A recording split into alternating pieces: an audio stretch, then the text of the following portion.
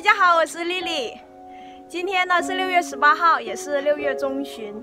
啊、这个季节呢出产了两种水果特别受欢迎，其中一种就是大家特别熟知的荔枝。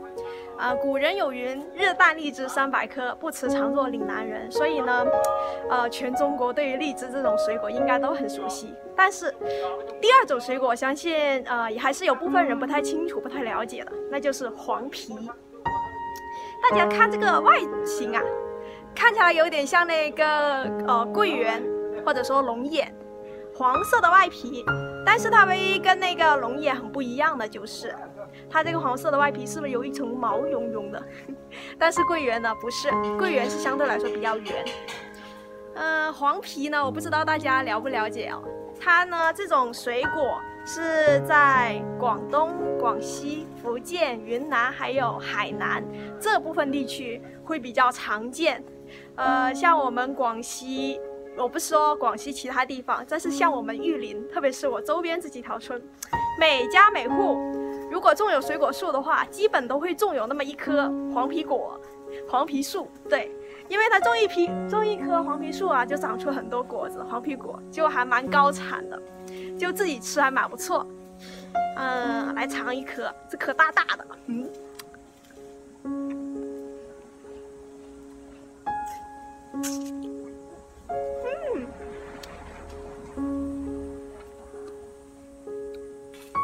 酸酸甜甜的，超级好吃。大家如果对黄皮果有一定了解的话，就会知道它这个黄皮果特别有益处。像荔枝呢，你吃多了是会上火，但是黄皮果黄皮果不会。黄皮果呢，它是比较温和的一种水果，它的作用还是蛮大的。首先呢，黄皮果酸酸甜甜的，它有很多那种维 C，然后有机酸，还有果胶。同时的话，像这个果皮里面的果核，还有这个黄皮果树的一些其他的部位，都是可以作为药用的。呃，它的药用价值还蛮明显的，特别像我们呃夏天呐、你呃就感觉特别热嘛，吃这个有一点那种呃清热降火的作用。同时呢，这个黄皮果另外还有作用就是酸酸甜甜的嘛，健胃消食啊。像你吃的特别饱，感觉消化不良，嗯，可以来几串这个黄皮果，特别爽，嗯。嘿嘿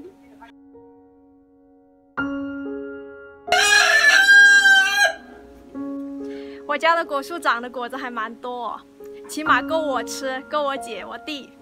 我爸妈呢，呃，因为身体原因也不宜多吃这种黄皮果，所以呢，接下来就是我们姐弟三人的包场。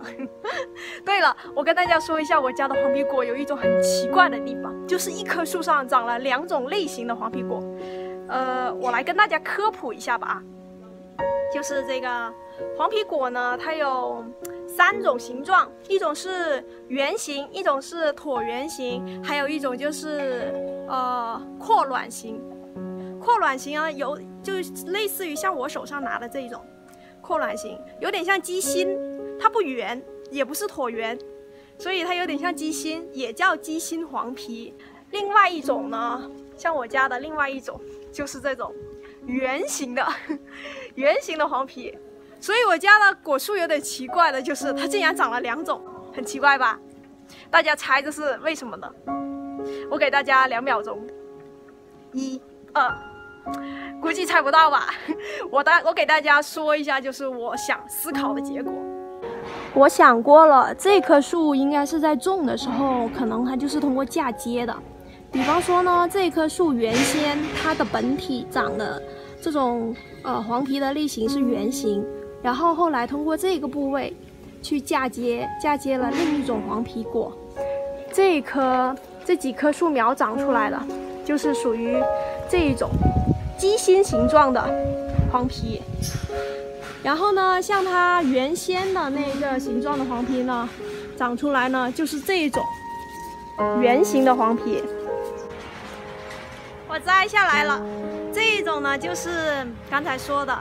鸡心黄皮，这一种呢就是另一种圆形的黄皮，很明显吧？这个分别，我给大家看一下吧。鸡心的黄皮呢，大概它的一个果肉呢是比较饱满的，然后相对来说，它的核啊，果核是比较少的，甚至没有果核。我喜欢这一种，好吃又甜。然后像这一种呢，圆形的黄皮，很圆。呃，像这个还算是小的，如果是大的话，就相对来说，呃，像那种小鸡蛋、小鹅卵石那种那么大小，像这种吧。像这种呢，我不太喜欢的地方就是，大家很明显可以看得到里面会有果核，一颗一颗果里面起码有两到四个果核。嗯，这么小一颗果。这么大一个果核，很大，对吧？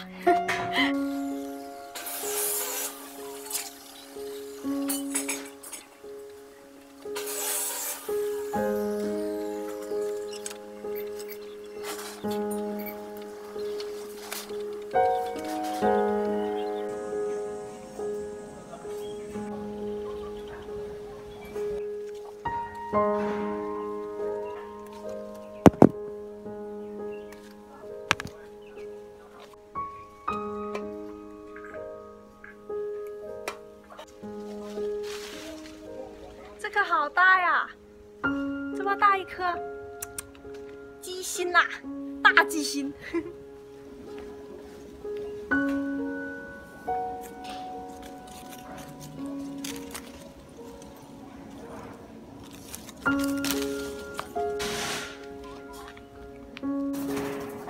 这一撮都成熟了，这些鸡心黄皮成熟的比较早啊，而且它不像那个圆梨黄皮长成一簇簇的，它就每撮长几颗。也许这就是它比较甜、比较好吃的结果，那就是。一根枝上面只能长几颗，那个营养呢集中在这几颗上面，对吧？想想有点合理哦。好了，要摘下来。A few moments later.